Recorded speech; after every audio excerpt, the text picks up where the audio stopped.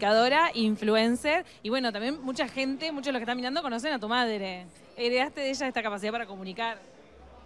Mi mamá en realidad es más, qué sé yo qué decirte, tipo artista, vedette, viste, siempre fue como más del lado de modelaje, de actuación.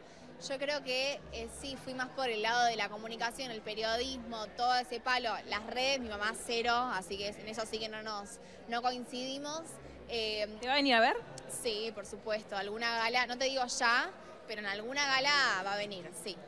hay rumores de que se va a mudar a Olivos, ¿es verdad? No sé, les juro que ustedes saben más que yo. O sea, yo estoy eh, tan metida en mi trabajo, en mis cosas. Ahora arranco un streaming nuevo la semana que viene, todas las marcas con las que trabajo, que estoy tan metida en mi mundo que ustedes saben más de la vida de mi mamá que yo, literal, se lo juro. Pero tú ya tuviste oportunidad de conocer a la pareja de tu madre, al presidente que es Javier Milei. Sí, sí, sí, sí, lo conocí, me pareció divino, muy sencillo, sobre todo el respeto y el amor que le veo a mi mamá y eso es lo más importante. ¿Y lo ves seguido? No, no lo veo seguido porque imagínate, si mi agenda está complicada, imagínate la del presidente de la nación, ¿no?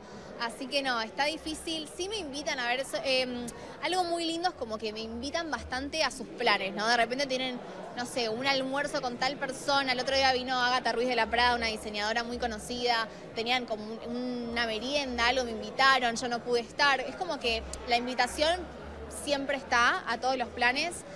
Yo, honestamente, estoy con el cantando, Suerte. ¿Cómo te llevas con el uruguayo que es tu compañero? No, re bien, Juanma, lo amamos. Aguante Uruguay, vamos a estar representando Uruguay acá en el Cantando 2024. Juanma, lo más, muy talentoso del palo del musical, eh, así que aprendiendo muchísimo de él también. Muchas gracias. Gracias, un beso a todos.